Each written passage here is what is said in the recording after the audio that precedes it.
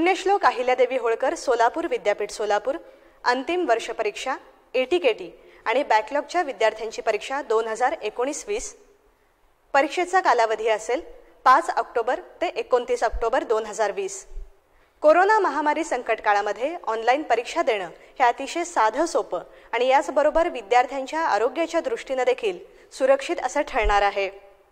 व्यावसायिक आणि पारंपरिक अभ्यासक्रमांच्या परीक्षा असं दोन विभागामध्ये याची विभागणी करण्यात आलेली असून पारंपरिक अभ्यासक्रमांच्या परीक्षेचं स्वरूप हे वेगळं असेल आणि व्यावसायिक परीक्षेचं स्वरूप देखील वेगळं असेल. व्यावसायिकमध्ये इंजिनिअरिंग फार्मसी आणि आर्किटेक्चर अभ्यासक्रमांच्या परीक्षांचा समावेश असेल. परीक्षा या ऑनलाईन होतील. बॅकलॉगच्या विद्यार्थ्यांना परीक्षेमध्ये पस्तीस प्रश्न सोडवावे लागतील तर नियमित सत्रातील विद्यार्थ्यांना परीक्षेमध्ये पन्नास प्रश्न सोडवावे लागतील. दीड तासाचा कालावधी विद्यार्थ्यांना प्रश्न सोडवण्यासाठी दिला जाईल तरी देखील तांत्रिक अडचण उद्भवल्यास ही लिंक पाच तास ओपन ठेवण्यात येईल. विद्यापीठाच्या कंट्रोल रूममधून यावरती लक्ष ठेवण्यात येईल. विद्यार्थ्यांचं नुकसान होऊ नये या पद्धतीनं सारं नियोजन करण्यात आलेलं आहे. पारंपरिक अभ्यासक्रमाच्या परीक्षेसाठी दीड तासाचा कालावधी देण्यात आलेला आहे. ही लिंक पाच तास ओपन राहील काही तांत्रिक अडचण आल्यास विद्यार्थ्यांचं नुकसान होऊ नये याकरिता अधिकचा कालावधी देण्यात आलेला आहे. मात्र दीड तासातच विद्यार्थ्यांना ही परीक्षा द्यावी लागणार आहे. बॅकलॉगच्या विद्यार्थ्यांना पस्तीस प्रश्न सोडवायचे आहेत. तर नियमित सत्रातील विद्यार्थ्यांनी एकूण पन्नास प्रश्न सोडवायचे आहेत.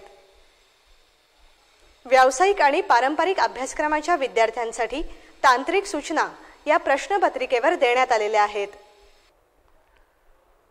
कोरोना संसर्गाचा धोका टाळण्यासाठी विद्यार्थी घरी बसूनच ऑनलाईन पद्धतीनं ही परीक्षा देऊ शकतील.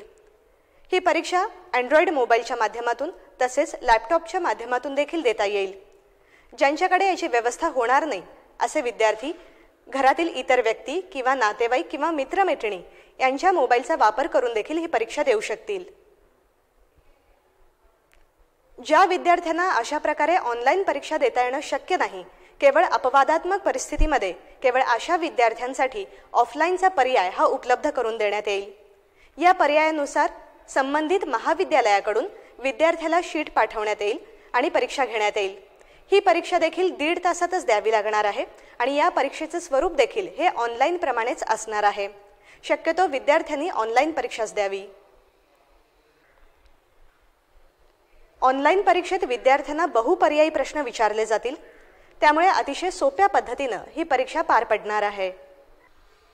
कोरोना महामारी संकट काळात विद्यार्थ्यांनी घरी राहूनच ऑनलाईन पद्धतीनं परीक्षा देणं हे कधीही सोयीस्कर ठरेल. परीक्षा देऊन मिळालेल्या डिग्रीचा विद्यार्थ्यांना भविष्यामध्ये फायदाच होईल.